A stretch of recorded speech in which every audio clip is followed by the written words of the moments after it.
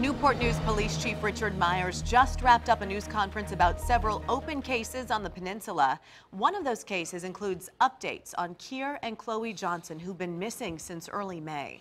We've been telling you about the mother and her eight month old daughter since they were last seen in April. Let's get right now to Erin Kelly, who just stepped outside of the news conference. Erin?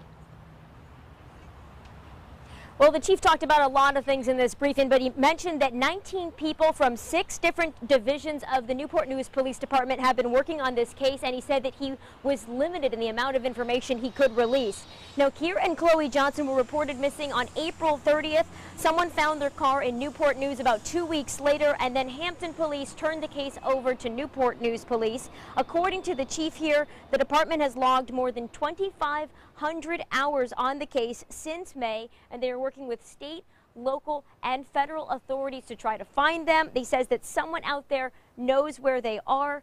Now, the chief also today talked about the Violent Crimes Reduction Task Force, some of the progress with seizing firearms. He says 23 guns were seized last month, 16 in May, and 17 in April. I also asked the chief about a shooting that sent an 11 year old boy to the hospital on Monday. You'll hear from him on that and other open cases coming up on Wavy News 10 beginning at 4. For now, we're live in Newport News. Erin Kelly, 10 on your side.